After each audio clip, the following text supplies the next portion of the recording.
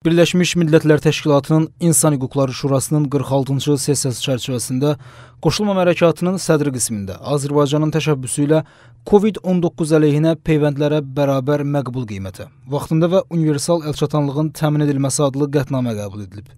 Qətnamə inkişaf etmiş və inkişaf etməkdə olan dövlətlər arasında COVID-19 əleyhinə peyvəndlərin ədalətsiz və qeyri-bərabər bölüşdürülməsi məsələsinin insan hüquqlarından istifadəyə mənfi təsir məsələsinə diqqəti çəkir və bunun pandemiyanın tamamilə aradan qaldırılmasında, eləcə də BMT-nin dayanıqlı inkişaf gündəliyində nəzərdə tutulan məqsədlərə nail olunmasında başlıca əngəllərdən biri olduğunu vurğulayır.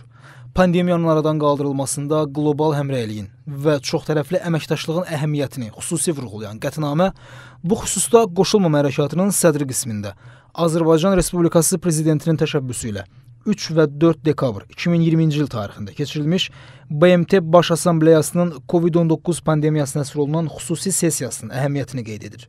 Qətnaməyə ümumilikdə 133 dövlət həm müəlliflik edib ki, bu da BMT-nin İnsan Hüquqları Şurasında qəbul edilən qətnamələr üçün olduqca yüksək göstəricidir. Həm müəlliflər sırasında dünyanın fərqli regionlarında yerləşən iqtisadi göstəriciləri kəskin fərqlənən və fərqli siyasi qruplaşmalara məxsus olan ölkələr təmsil edir. Onu da vurğulayaq ki, Azərbaycanın qoşulma hərəkatına sədrliyi COVID-19 pandemiyasına qarşı qlobal mübarizədə çoxtərəfli səylərin mərkəzində olmağa davam edir.